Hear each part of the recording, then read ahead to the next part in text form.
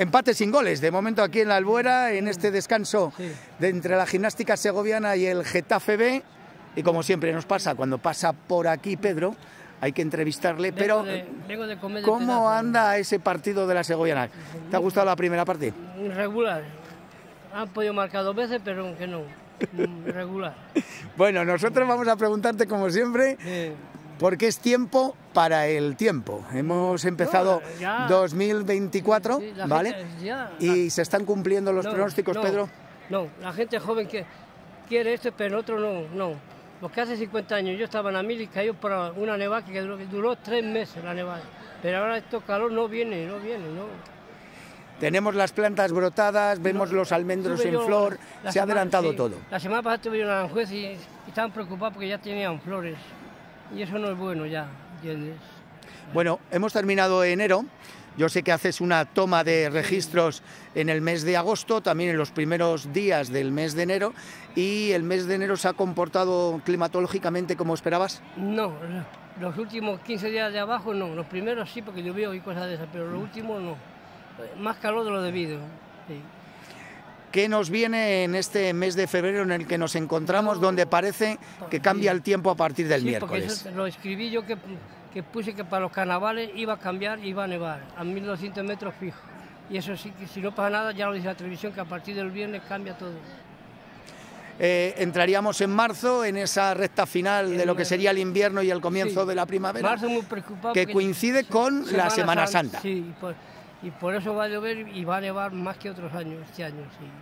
por aquello de las dos lunas en marzo y de los No, la- cinco viernes, cinco sábados y cinco domingos, ¿no? sí, pero las cinco lunas en mayo. Ah, y, cinco. y por eso los primeros días va, va a escarchar algo y va a llover bastante hasta el día 24. Y luego ya viene un poquito de calor en mayo. ¿Y abril cómo va a ser? A- abril al principio lluvioso. Si no cambian, porque...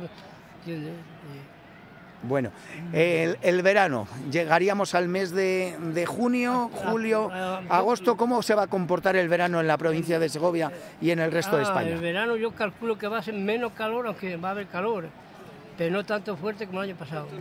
Sí.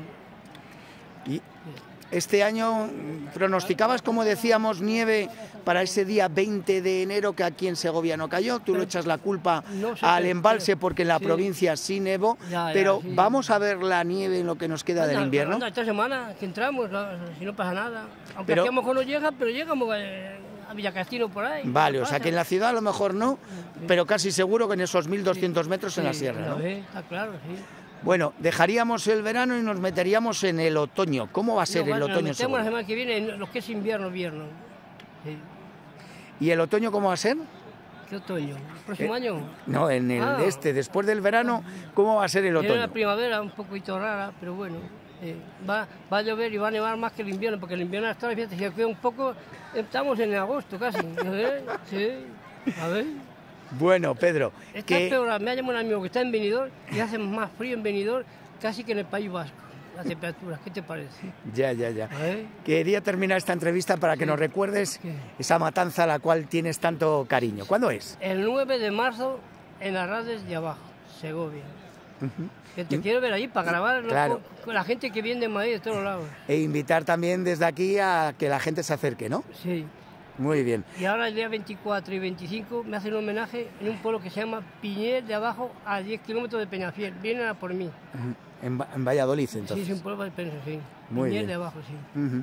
Pues gracias, Pedro. Vale. Como siempre, tan amable en el descanso de la gimnástica segoviana con el Getafe. Esperemos ganar, que la, la Sego gane esta tarde Yo y, como siempre, darte las yo gracias. resultado 2-1, no sé si se cumplirá o no. Ver. Esperemos, Ah, esperemos. pues vale. Gracias, Pedro. Vale. Se lo mandas a mi sobrina para que se ría un